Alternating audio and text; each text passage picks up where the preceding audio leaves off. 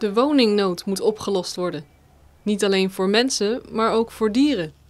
Dat is een van de standpunten waar de Partij voor de Dieren zich op wil richten bij de gemeenteraadsverkiezingen in maart volgend jaar.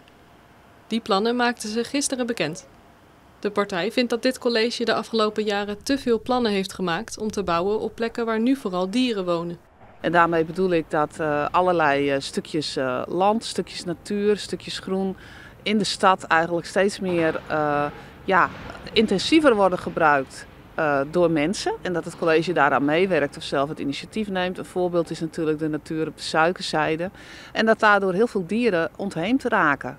En dat vinden wij geen goede zaak. Hoe zou dat opgelost kunnen worden?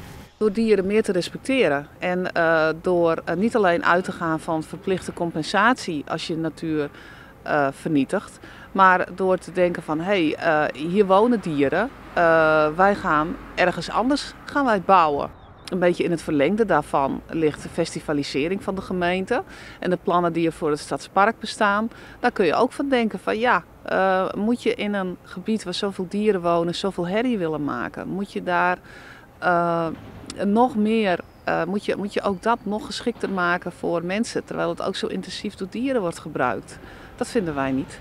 Daarnaast wil de partij de jacht en visserij in de gemeente aanpakken. We hebben er in de afgelopen vier jaar wel veel aandacht voor kunnen vragen binnen de gemeente. Er is over gedebatteerd. Uh, het bewustzijn is wel gegroeid. Maar het is helaas nog steeds zo dat de gemeente op uh, gronden uh, waar het mogelijk is nog niet is overgegaan tot een verbod op visserij of op jacht.